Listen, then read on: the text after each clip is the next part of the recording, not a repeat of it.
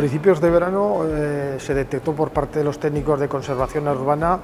unas deficiencias importantes en las vigas del techo de la sala conocida como sala de conferencias, la sala 9 de este edificio de Condestable,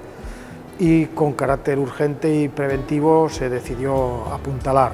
A partir de entonces hemos estado trabajando con técnicos de del servicio también de Pamplona Centro Histórico y con el propio equipo que hizo la rehabilitación allí en el año 2009 para buscar las mejores y más rápidas soluciones